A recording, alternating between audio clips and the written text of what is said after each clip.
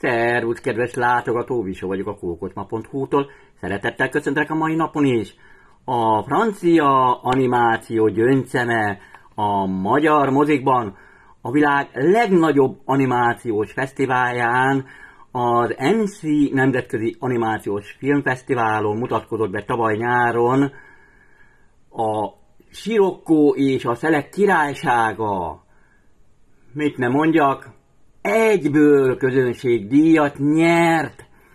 Kedves látogató, amennyiben érdekelnek a részletek, kérlek, látogass el honlapunkra és olvasd el ezt a cikkünket is.